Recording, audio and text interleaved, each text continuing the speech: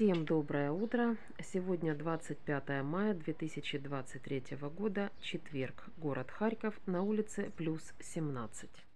Сейчас э, преимущественно пасмурная погода, пока без осадков и сильного ветра.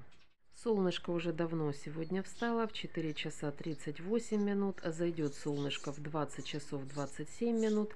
Долгота дня сегодня 15 часов 49 минут.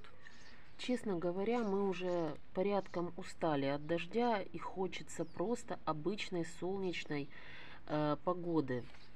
Вот посмотрите, что натворил дождь. Горный василек пришел в негодность. Ну, я надеюсь, еще будут распускаться, и тогда моя попытка сделать букет все-таки увенчается. По прогнозу синоптиков, э, сегодня через пару часов ожидают сильный дождь. Нам он уже порядком надоел. Мы не можем войти в огород толком и все закончить. Не получается. Земля очень мокрая. Будем надеяться, что если и будет дождь, то он будет кратковременным и не очень сильным.